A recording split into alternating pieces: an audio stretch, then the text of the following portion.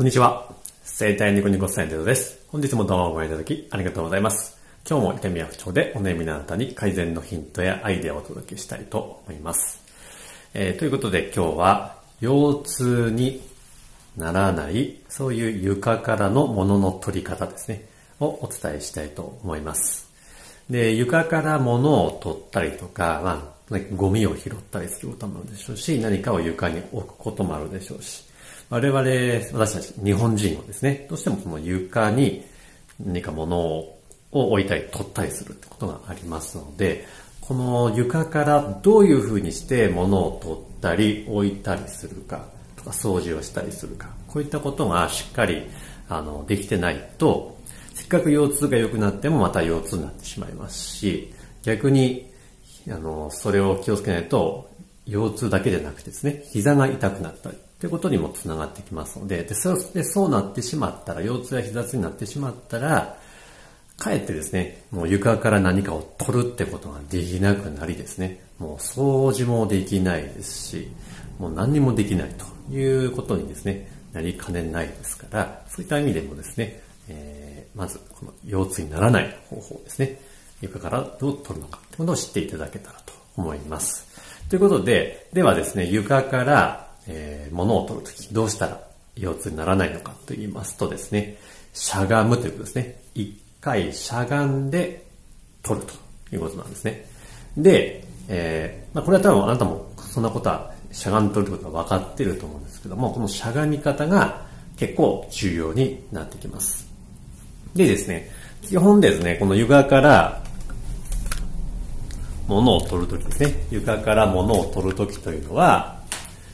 まあ、こういう風にして取ってたら、まあ、これは腰痛めそうっていうのはわかると思います。で特にまあ膝が痛かったり腰が痛くなってくるともうこう、これができなくなってくるんですよ、だんだん。なんで、まあ、特にひあ膝が痛い、膝が痛いとですね、もう曲げれなくなってきて、それでこうやってしまって、それで逆に腰を痛めるってことになるんで、できるだけまあ膝を使わなきゃいけないと。膝を曲げてしゃがんで取る。これはあの、あなたもきっとご存知だと思うんですけども、えー、実はですね、この膝を使って下のものを取っていきますと、今度はですね、膝痛めますし、逆に腰も痛くなりやすいんですね。なので、今日はこの動画をご紹介することにしたんですけども、下のものを取るときは、ここからお辞儀をして、それで足を片方引いて、しゃがむ。そして、